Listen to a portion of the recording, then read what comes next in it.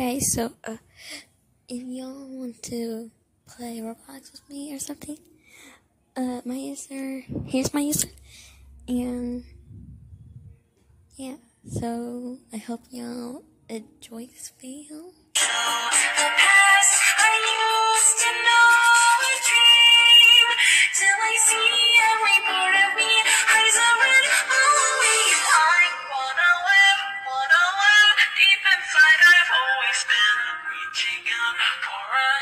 So don't let this be the end.